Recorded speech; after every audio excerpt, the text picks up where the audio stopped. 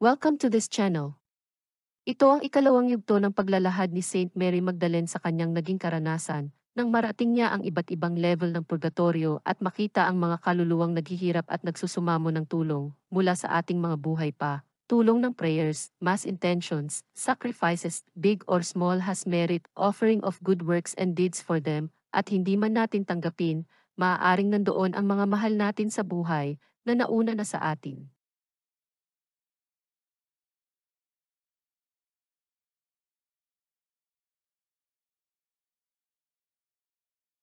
Summary of Part 1 Level of Purgatory for Souls who were making reparation for committing sins out of ignorance, who were guilty of hypocrisy, who had lacked charity toward others, who were liars, who sinned through weakness, who had chosen the false gods of materialism.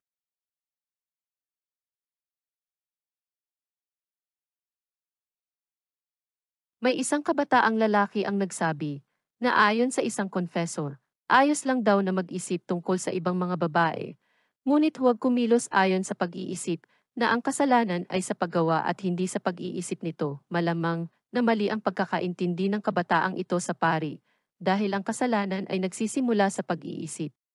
Tiyak na ang mga pag-iisip ay maaaring mga tukso ng mga demonyo, at hindi tayo responsable sa mga kaisipang iyon. Ngunit kapag inentertain natin ang mga kaisipang ito, tiyak na akayin tayo ng mga ito na magkaroon ng maruming kaisipan at maging kasalanan.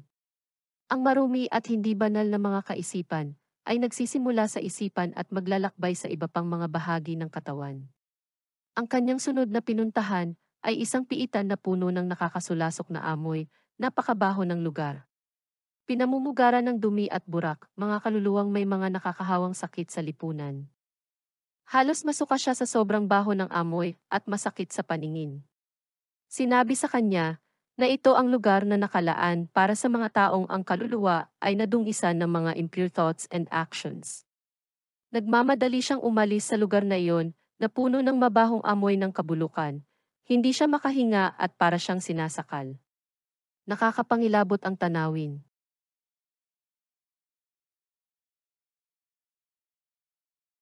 Ang susunod na lugar ng purgatorio na kanyang pinuntahan ay nakatuon sa mga kaluluwa na ang pokus sa buhay ay ang pagiging popular, tanyag, tinitingala at mga ambisyoso. Wala pa kialam sa damdamin ng tao, kahit may matapakan sila. Ang kanilang pilosopiya, the end justify the means, ano man ang kinakailangang gawin upang magtagumpay, walang makakahadlang sa kanila. Kaya napuntahan niya ang piitang ito ng dilim na walang konsolasyon. Hinanap ng mga kaluluwang ito ang mailap na kayamanan ng mundo, at ipinagkanulo sila ng mundo, at ng mga kasinungalingan nito. Pinili nila ang paggalang ng mga tao, kaysa sa banal na paggalang sa Diyos. Gaya ng dati, ang ama ng kasinungalingan, ang Diablo, ang nagdala sa kanila sa kahangalang ito at nagtaksil sa kanila, kaya narito sila. Ang paggalang ng mga tao ay namatay kasama nila at ngayon ay nagdurusa sila. Na tulad ng iba sa purgatorio, nananabik silang makita ang kabanalan ng Diyos na pinili nilang pangalawa lamang sa kanilang buhay sa lupa.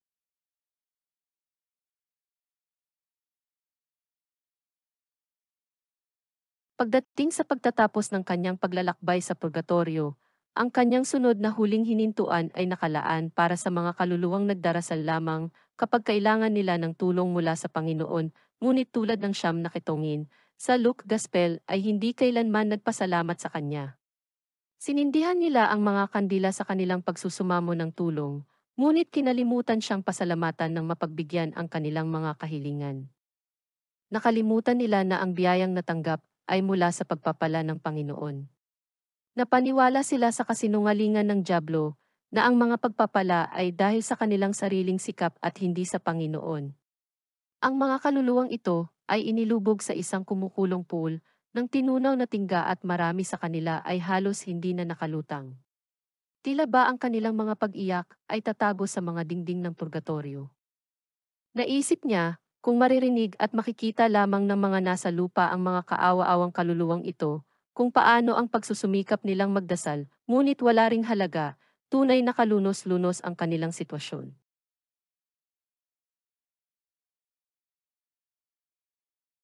Ang kanyang huling hinintuan ay ang lugar na pinakakaunti ang sakit at pagdurusa. Ito ay puno ng mga kaluluwang hindi naman nakagawa ng mabigat na kasalanan, ngunit dahil sa kawalan ng pag-iingat, ay nagkasala ng mas maliit na mga pagkakamali, mga kasalanang maliit o tinatawag na venial sins. Ang problema sa mga kasalanang ito ay maaaring humantong sila sa mas mabigat o mga mortal na kasalanan.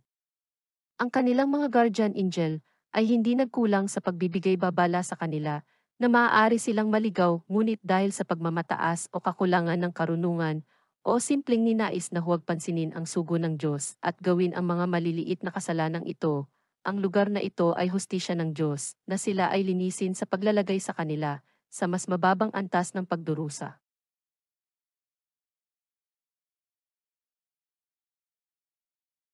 Nakita ni Mary Magdalene ang kanyang kapatid na si Alamano, na namatay noong June 14, 1587, nang bumisita siya sa iba't ibang piitan ng purgatorio.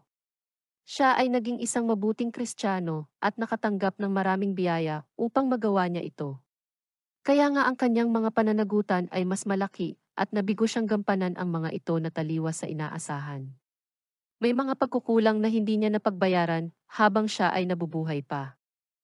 Maraming beses na sinubukan ni Mary Magdalene na balaan ang kapatid, ngunit hindi siya nagtagumpay. Alam naman ito ang mga ginagawa niya, Ibinahagi ng kanyang kapatid na bagamat buong puso niyang tinanggap ang pagdurusa na kailangan, upang makaharap siya sa presensya ng Diyos, nakiusap ito sa kanya na tumanggap ng 107 times ng banal na komunyon upang tulungan siyang magbayad. Para sa mga panahong hindi niya inuna ang Panginoon sa kanyang buhay. Bilang isang mabuting kapatid, ginawa niya ang hiniling nito at sinabayan niya rin ng pakikiusap sa Panginoon para sa nasabing kapatid.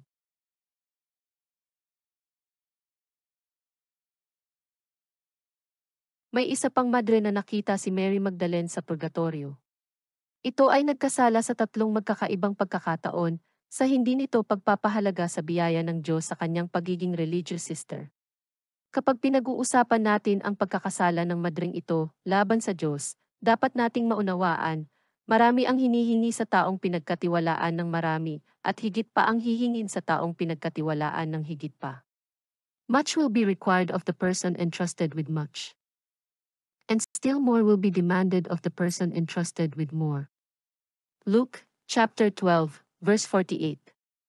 Ang mga religious ay binibigyan ng mga espesyal na grasya upang maisagawa ang kanilang bukasyon ng tapat at ganap. Ang mga makalangit na grasya, tulad ng mga ipinagkaloob na grasya sa lupa, ay dapat pahalagahan sa lawak na ibinigay sa kanila, ang laki ng regalo, ang kahalagahan ng nagbigay, at ang kaisipan sa ibinigay na regalo. Sa mga religious na madre, ang mga grasyang ito ay ibinibigay ng perpekto ng kanilang esposo, ang Panginoong Heso Kristo, na ibinibigay sa kanila ng buo ang kanyang puso. Ipinagkaloob niya sa kanila ang mga grasyang ito, kilala niya ang kanyang mga minamahal, alam niya ang kanilang mga pangangailangan. Maingat niyang hinulma ang mga ito para sa kanyang sarili, sa kanyang isip at puso bago nagsimula ang mundo. Dahil mahal niya, Labis ang proteksyon niya sa mga ito bilang kanilang esposo. Isipin na lang ang mga sugat sa puso ni Jesus nang ang kanyang religious, ang kanyang mga brides, ay tumanggi sa kanyang mga regalo. Ganyan ang nangyari sa madring ito na nasa purgatorio.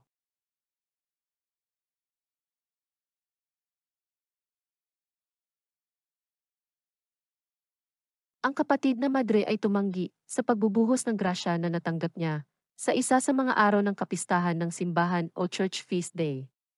Bagamat dapat niyang ialay ang araw na ito sa Panginoon, sa halip ay pinili ng madre na ito ang magburda. Narinig niya ang isang inner voice na nagsabi sa kanya, dapat niyang ipagdiwang ang solemnity ng kapistahan sa panalangin at pagninilay-nilay. Pinili niyang suwayin ang rules at sundin ang kanyang kagustuhan at dikta ng mundo. Sa isa pang pagkakataon, dahil alam niyang may problema sa komunidad at dapat niyang sabihin sa kanyang superior, pinili niyang manahimik. Alam niya na ang pagbabahagi ng problema ay makakabuti sa iba pang mga madre subalit wala siyang ginawa. Dahil alam niya kung ano ang magiging reaksyon ng ibang madre, ipinagpalit niya ang paggalang sa tao kaysa sa banal na paggalang sa Diyos. Kung napagtanto sana niya ang kahihinatnan ng pagbibigay halaga sa magiging impresyon ng ilang kasamang madre at pagtanggi sa respeto na dapat ibigay sa rules ng congregation na patungkol sa Panginoon, gagawin kaya niya ang pananahimik.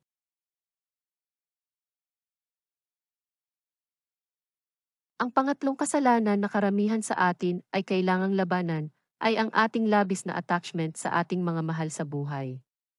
Nang ang kapatid na madring ito ay naging esposa ni Jesus, ipinangako niya ang kanyang walang hanggang pag-ibig sa Panginoon na siya muna bago ang lahat.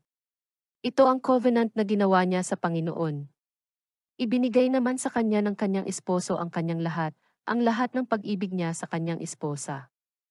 Siya, sa kabilang banda, ay natagpuan ang kanyang sarili na nagiging mas at higit na abala sa mga alalahanin at patuloy na pangangailangan ng kanyang pamilya.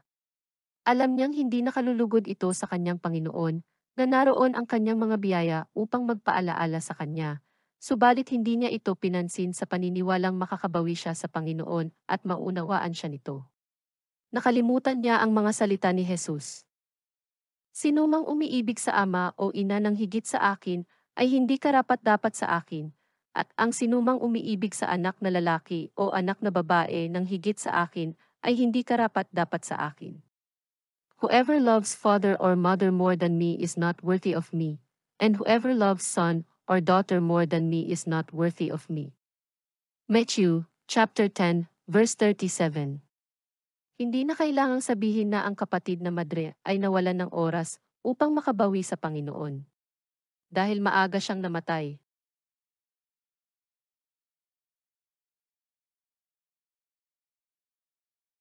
Si Mary Magdalene ay nagsimulang manalangin para sa kanyang kaluluwa. Labing-anim na araw pagkatapos ng kanyang kamatayan, nagpakita ang kapatid na madre kay Mary Magdalene at ipinahayag ang kanyang paglaya mula sa purgatorio. Nagulat siya na ang madring ito na kilala sa kanyang kabanalan ay nagdusa ng ganito katagal sa purgatorio. Tinanong niya kung bakit nagkaganoon. Ibinahagi ng madre na kailangan niyang gumawa ng pagbabayad sala para sa mga panahong iyon na hindi niya pinansin ang biyaya ng Diyos. Ginawa niyang prioridad ang tawag ng mundo. Sinabi niya na ang panahon ng kanyang pagdurusa ay magiging mas matagal pa sana kung hindi isinaalang-alang ng Panginoon ang kanyang katapatan sa kanya sa mga nakaraang panahon ng kanyang pamumuhay. Gayon din ang kanyang tapat na pagsunod sa panuntunan ng congregation, pati na rin ang kanyang mabuting kalooban sa paghawak ng hindi mabilang na mga sitwasyon at ang kanyang pagmamahal sa kanyang iba pang mga kapatirang madre.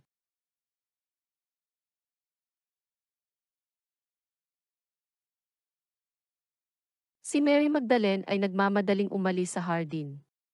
Narinig siya ng ibang madre na nagsumamo sa Panginoon na huwag na niyang maranasan ang mga paghihirap na ito sa hinaharap. Nakiusap siya sa Panginoon na huwag na itong maulit dahil naniniwala siya na baka hindi na malagpasan ng kanyang espiritu ang sobrang paghihirap.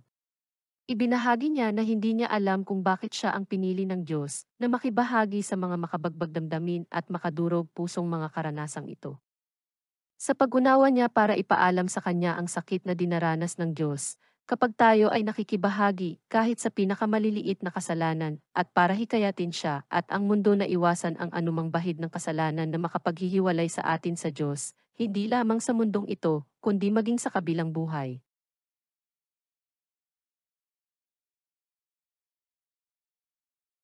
Tulungan po natin sila.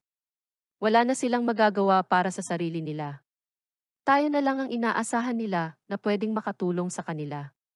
Maaaring isa sa kanila ay ating ina, ama, kapatid, iba pang miyembro ng pamilya, at mga kaibigan. Hindi mahirap gawin ang kanilang kahilingan. Hindi kailangang may pera tayo para makapag-offer ng mass intentions. Nagsisimba naman tayo di po ba? Huwag lang online kasi walang sacrament doon. Kasi wala naman tayong sakit, we are not elderly or handicapped.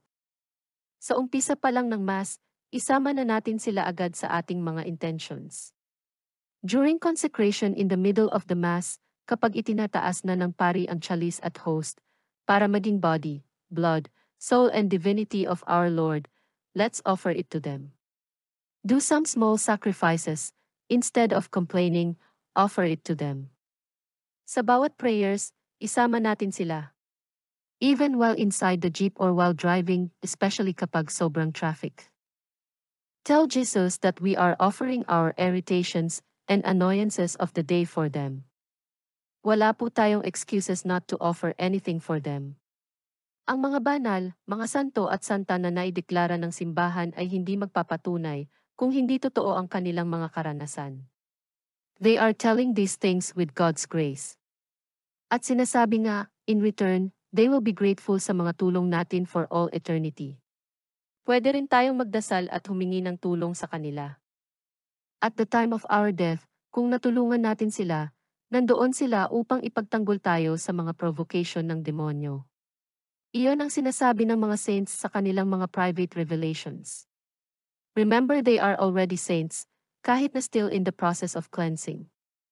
Maraming saints ang hindi na ideklara ng simbahan, subalit nasa langit na sila. Ang Diyos lang ang nakakaalam kung sino-sino sila.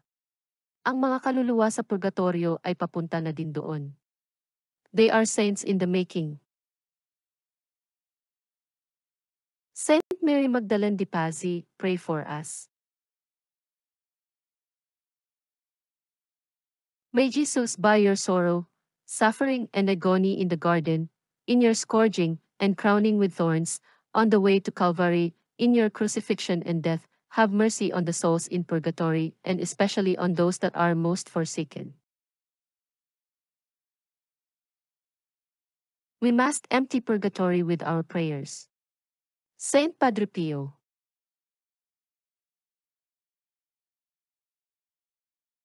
At bagamat sila ay nagdurusa sa kanilang matinding paghihirap, ginagawa nila ito ng may kusang loob, dahil alam nila, pagdating ng panahon sila ay palalayain at dadalhin sa langit, hindi katulad ng mga kaluluwang napahamak na at isinumpa.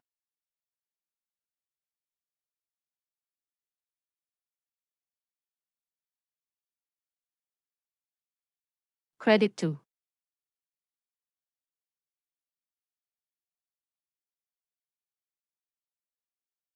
Maraming salamat po sa inyong pagtangkilik.